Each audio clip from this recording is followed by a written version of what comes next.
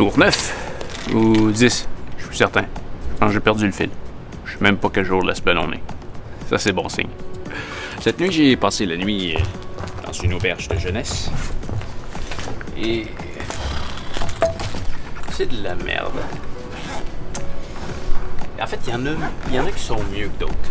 Cette nuit, j'étais dans une auberge à 8 personnes. Dans une chambre, en fait. Donc, je partageais ma chambre avec 7 personnes. Parmi eux, il y avait un épais. Mais il y a aussi le fait que c'est mal fait. Dans un dortoir, il devrait pas mettre d'espace de rangement ou de douche, ni de lavabo. Parce que quand t'es le premier à te coucher, ben faut que t'endures les sept autres personnes qui prennent leur douche après toi. C'est stupide. Puis quand le rangement est dans la chambre, ben, ça veut dire que tu défais puis tu fais toutes tes affaires dans ta chambre. Pas super. Aujourd'hui, il me reste un petit bout à faire dans le Danemark.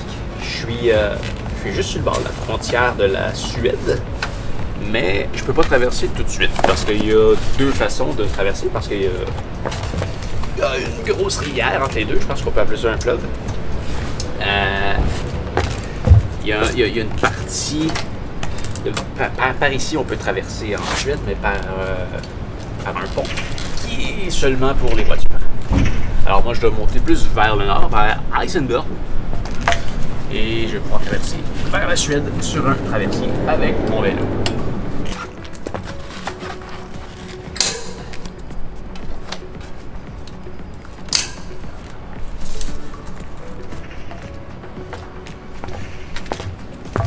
Donc au menu euh, aujourd'hui, environ 114 km et environ 800 mètres de dénivelé, là, up.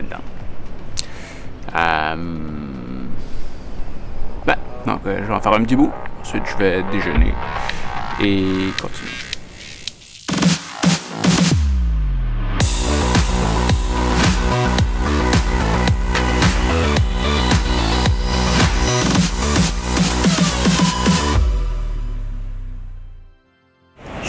Côté d'une école primaire et de ce que je vois ici, il y a quatre brigadiers. Et les brigadiers, ça semble être les plus vieux de l'école.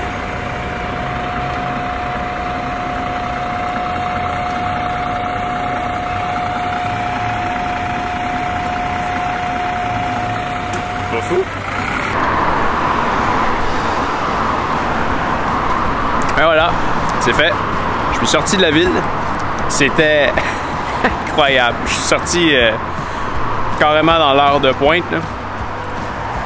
C'est des autoroutes de vélo. C'est complètement fou. C'est un point tel qu'il y a des lumières pour les piétons, pour les cyclistes et les autos. Les cyclistes ont leur propre lumière. Et il y a des coins de rue dans les coins les plus achalandés. La lumière à tombe verte, c'est pas loin d'une centaine de vélos qui partent d'un coup. C'est des autoroutes de vélo. C'est incroyable. Là, ça devrait être plus relax. Je, suis, je pense que je suis complètement sorti de la ville. C'est assez évident. Et euh, ben, ça va être facile. Je suis cette route-là sur à peu près 70 km jusqu'à mon traversier euh, plus au nord. Ça, c'était pas prévu, mais il vient de se mettre à mouiller. Faut juste pas que ça dure parce que mes sacs avec l'eau, c'est de la merde. Mais d'après moi, ça durera pas. Faut pas que ça dure.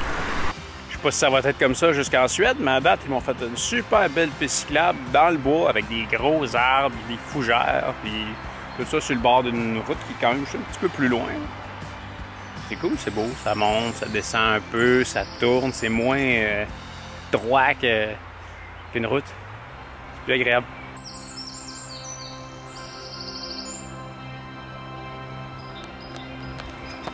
En tout cas, chose certaine, la journée de pause, si on peut appeler ça une pause, parce que j'ai quand même marché 21 km dans la ville, ça a fait du bien. Euh, je me sens beaucoup plus reposé.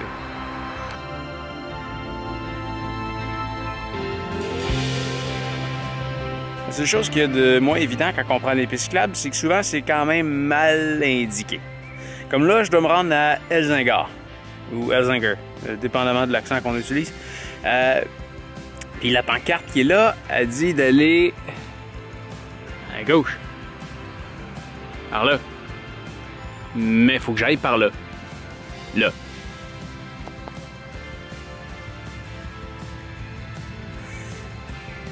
C'est con. Sur le bord de la mer. De côté, on peut voir un petit peu, un tout petit peu la Suède. Ça sent... Non, ça sent pas la mer, ça sent l'asphalte.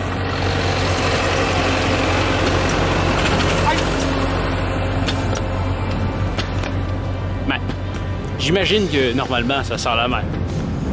En, fait, il y a comme un mélange... Ça sent l'asphalte salé.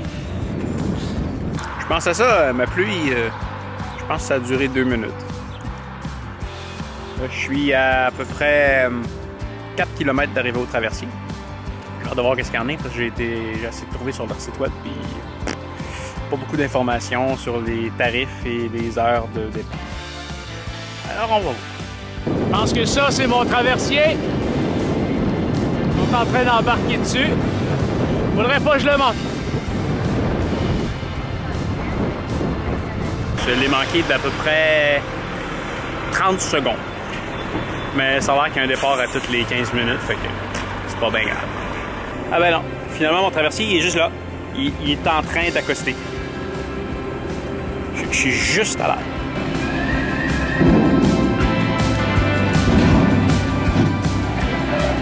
Ça a tout l'air d'être des gros camions, ça c'est de la grosse marchandise qui passe par ici, c'est pour ça que ça, ça part souvent.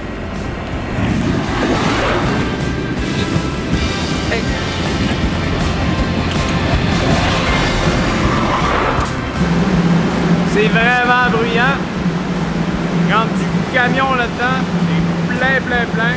En haut, c'est les autos. Je combien de temps ça va prendre à traverser. Je vois pas l'autre côté. C'est quand même, euh, probablement quand même un bon petit bout. Encore là, eux, ils fournissaient ça. Mettre le vélo. Au poids que mon vélo il fait, si ça campe, ma roue elle va tordre, c'est tout ce qui va arriver. Encore là, faut toujours l'attacher. Puis on va l'air avoir de corde aussi. Alors c'est toujours une bonne chose de se traîner une corde quand on prévoit prendre des traversiers, quand on fait un grand voyage à vélo.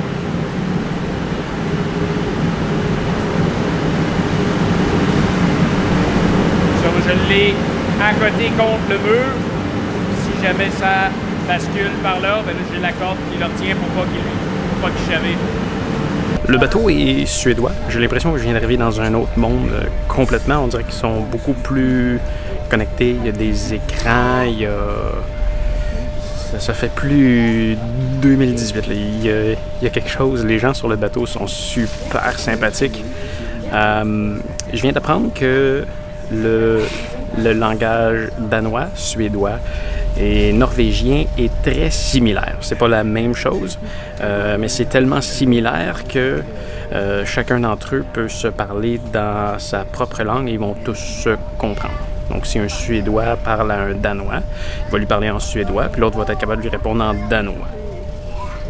Puis ils vont être capables de se comprendre. Je vois déjà de la terre. Est-ce que je suis déjà rendu? Je viens de me prendre à manger. J'aurais peut-être pas dû. Bizarre, j'arrive à une barrière barbelée avec un bouton stop avec deux P. J'appuie dessus, puis il se passe rien. Je sais pas quoi faire. Ah, ça l'ouvre. Ah. Je sais pas si c'est la madame en arrière qui a pesé dessus. You press on some? yeah, you press that. Ah! Ok, fait qu'il faut appuyer sur un bouton, puis ça l'ouvre. hey, je suis en Suède! Wouhou! C'est fou, c'est complètement un autre monde. Tout est. Tout est différent. Tout est plus suédois. Euh, J'aimerais juste ça me trouver un parc pour manger mon sandwich, mon yogourt, puis mon jus que je m'étais acheté pour euh, manger tranquillement sur le bateau. On va trouver ça. Ah bon, c'est parfait ça. Un beau petit parc devant une chute, plein de monde qui passe. Il y a vraiment une joie de vivre ici. retrouve un peu le, côté que j'avais dans les Pays-Bas. tout le monde qui marche avec leur petit sourire. Pas autant, là, mais euh, presque. Les Pays-Bas, c'était vraiment tout le monde avec leur petit sourire. tout le monde était joyeux. Il y a quand même une- quelques personnes qui sont dans leur bulle, mais euh, c'est beaucoup, beaucoup plus festif. Je pense que je vais m'amuser. Vais surtout manger. Ça, j'ai faim.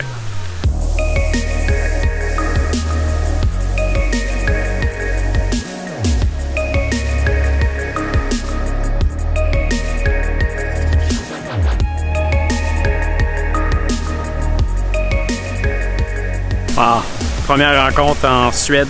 J'ai rencontré un Syrien. Ça fait 4 ans qu'il est arrivé ici. Il est parti euh, durant la guerre. Il fait partie des gens qui ont traversé illégalement sur des bateaux euh, qui comptaient d'une d'une grandeur ridicule avec plus de 100 personnes qui ont failli couler deux fois, que les moteurs ont pris l'eau, qui ont réussi à arriver. Puis maintenant, ben, il s'est installé en Suède. Il est en train d'étudier euh, comme technicien informatique.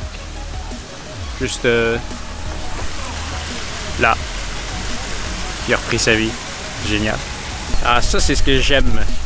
Je m'arrête à un endroit, les gens me voient, les gens viennent me voir, ils veulent savoir qu'est-ce que je fais, les gens viennent m'aborder. C'est ça, ça, c'est un truc qui est vraiment le fun quand on voyage. Puis là, ben, je viens d'arriver en Suède, je pense que c'est la première fois que ça m'arrive vraiment, que je peux avoir des discussions avec des gens qui sont curieux de savoir qu'est-ce que je viens faire, qui me comptent un peu de leur vie. Ça, c'est le fun.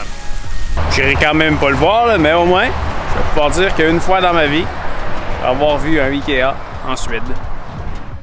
C'est assez fou la quantité d'espace vert qu'il y a. euh, je sais pas si c'est comme ça partout en Suède, mais à Helsingborg, euh,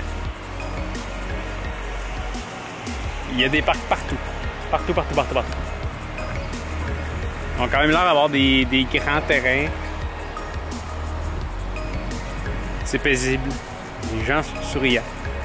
J'aime ça. C'est une drôle d'idée quand même de mettre des pots de fleurs dans la rue.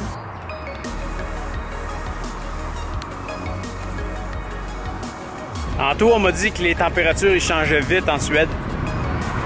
On m'a dit qu'on pouvait voir jusqu'à 4 saisons en une journée. Je commence à comprendre. Quand je suis arrivé, il faisait quand même chaud. Ça, il s'est mis à faire beau gros soleil, super chaud. Ensuite, il y a eu de la pluie. Là, c'est plus frisquet. J'ai l'impression que le soleil va revenir éventuellement. Depuis que je suis sorti de la ville, c'est quand même pas mal des champs. Euh, il y a certains vallons, disons. Puis il y a quand même un pas pire vent qui, m'arrête un peu, là, mais c'est pas aussi pire que, ce que j'ai eu au Danemark. En ce moment, la mer est un petit peu par là-bas. Quand même pas trop loin. Avec le vent, ben, c'est sûr qu'il vient de là. Ah ben, gardons ça, qui sait que je revois pas. La dernière fois que j'avais vu ça, c'était la première fois, c'était au Liechtenstein. Mais celle-là, elle a l'air un peu moins efficace. Elle a l'air à tourner en rond.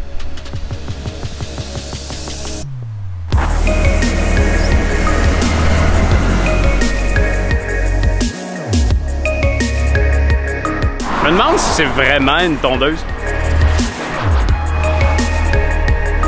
Ça n'a pas l'air à faire grand chose en tout cas.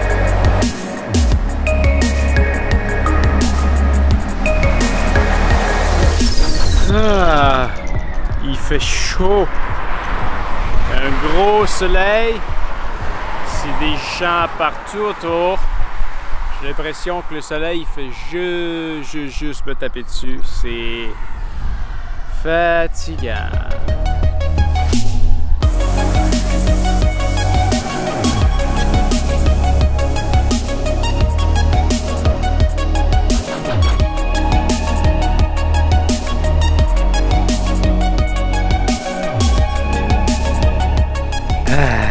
Commençais à être découragé. là. J'étais sur une route, puis visiblement, ça fait l'air à descendre. C'est comme si je montais. C'était aussi dur que si je montais.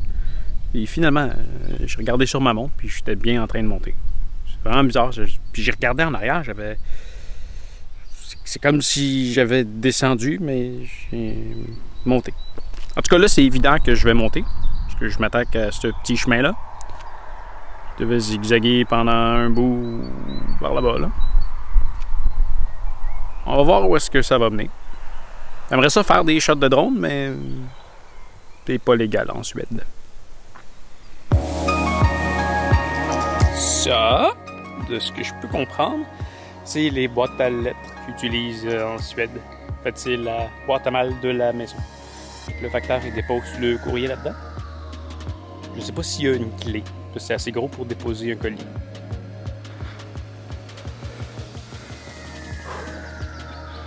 Ouais. J'ai choisi mon chemin. Je suis vraiment toute une montée. C'est- le plus à pic que j'ai monté depuis que je suis arrivé. Ça monte longtemps.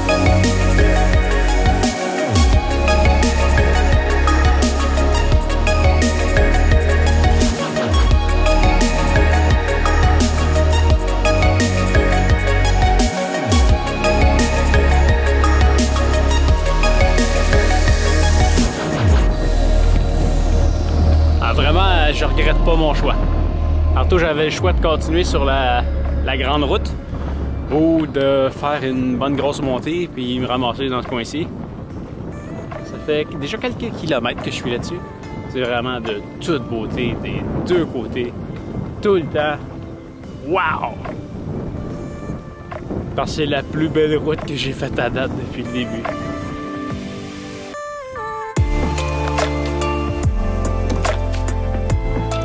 En plus, je vais avoir le droit à une descente. À 219 mètres d'altitude. Puis dans 10 km, il faut que je sois sur le bord de zéro parce que je pars sur le bord de la mer.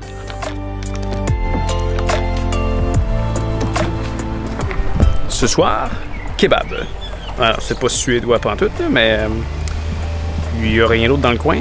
J'ai faim, puis ça a l'air bon. Une bonne raison.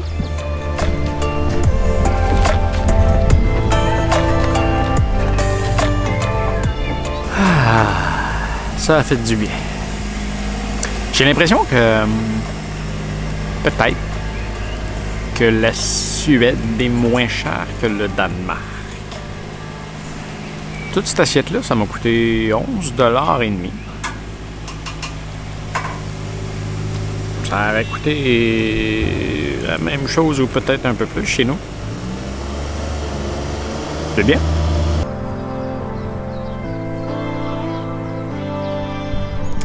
Ça, c'est assez frustrant. J'ai réservé une chambre ici, puis il n'y a personne. Puis c'est fermé. Je viens d'envoyer un courriel parce que, chance, hier, il m'a donné le Wi-Fi de la place, fait que j'ai pu me connecter pour y envoyer un message. Maintenant, il faut que j'attende. Ça, c'est vraiment, vraiment pas fort. Ben, on est en train de s'échanger des courriels. Elle me dit que les clés sont dans le Gustru qui est là, puis qu'il faut que je fasse le code 2018A pour l'ouvrir. Le problème, c'est quand je le fais, je sais pas comment ça marche.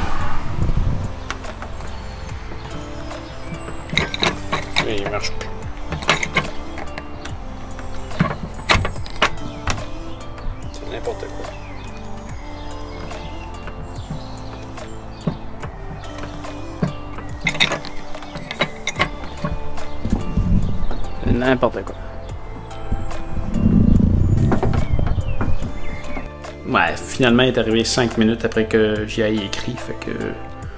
Je peux pas trop me plaindre. C'est sûr que aurait été le fun qu'il y ait quelqu'un en arrivant, mais. Je suis tout seul, fait que c'est sûr que ça vaut pas tant la peine de mettre quelqu'un, mais quoi que je suis quand même là. Mais. euh, quand même, euh, c'est encore euh, l'endroit le moins cher que j'ai trouvé. Et je me ramasse pour 63 dollars cette nuit.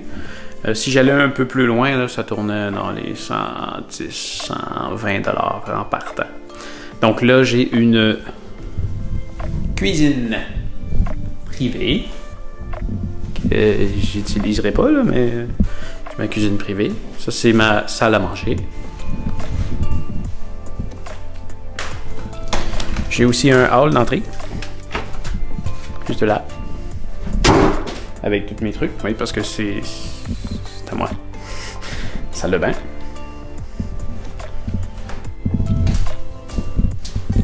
Douche. Et ma chambre. Tout ça pour moi tout seul. J'ai même un deuxième étage avec d'autres chambres, mais ça, sert à rien parce que j'ai juste besoin d'un lit. Quand même, hein? Ah, puis ici, je vais devoir changer de devise. Je n'utiliserai plus la couronne danoise parce que je ne suis plus au Danemark. Ici, je vais avoir besoin de la couronne suédoise. Euh, les montants varient un peu. Euh, là, quelques capsules, je disais que euh, toutes les couronnes valaient sensiblement la même chose. Euh, pour ce qui est de la couronne danoise, ça prend 5 couronnes pour faire 1 dollar canadien en ce moment. Et pour ce qui est de la couronne suédoise, ça prend 8 couronnes pour faire 1 dollar. Donc les prix paraissent un peu plus chers, mais ça devient un peu moins. C'est juste plus difficile à diviser par 8 que par 5. Mais en général, j'ai l'impression que la Suède est moins chère que le Danemark. Je trouve qu'ils ont une, belle monnaie, eux autres aussi. J'aime ça les pays quand, quand la, la monnaie est de la même largeur, mais pas de la même hauteur. Ça permet de séparer les billets assez facilement. Ce qui est de la couronne, euh, ça c'est la couronne norvégienne. Eux, c'est tout le, billet qui est, plus large, ça devient comme un, un mess. Ça, se prend mal, puis ça s'effrite plus. Pas ça. La couronne danoise avait le même principe. Puis eux, ils ont même mis des petites bandes ici en haut pour euh, différencier avec la couleur. Puis l'euro, eux autres, ils auront le 100 euros, il est tellement énorme par rapport aux seringues, c'est ridicule. Puis nous, ben, ils sont tous pareils. Mais ils sont en plastique. Résistent à l'eau, mais pas à la sécheuse. Par contre, probablement que j'aurais pas besoin d'utiliser la couronne suédoise. Euh, à date, ils ont l'air à prendre la carte partout. Euh, la couronne danoise, je pense que je l'ai utilisée une fois pour payer une chambre euh, dans un bel and breakfast. Euh, ici, euh, j'avais déjà payé à l'avance par carte de crédit, puis je suis en train de laver mon linge. Elle est venue avec euh, une machine, j'ai payé avec, avec la carte directement. Tantôt, j'ai mangé dans une petite cantine de rue. Ils prenaient la carte, fait que je suis pas mal sûr qu'ils vont prendre la carte vraiment partout. En Allemagne, c'est là qu'ils m'ont vraiment brûlé. J'ai failli manquer d'euros. en fait, j'ai fini avec 100 euros. Si je passais une nuit ou deux de plus, là, euh, j'en aurais manqué. Il n'y avait pas moyen de payer d'épicerie, il n'y avait pas moyen de payer d'hôtel, il n'y avait pas moyen de rien payer avec une carte. En Allemagne, on dirait qu'ils prennent pratiquement uniquement que l'argent. J'ai quand même réussi à payer quelques fois avec la carte, mais c'est très rare. Dans les Pays-Bas, je me suis débrouillé quand même assez bien avec la, carte, mais encore là, l'argent papier était très apprécié.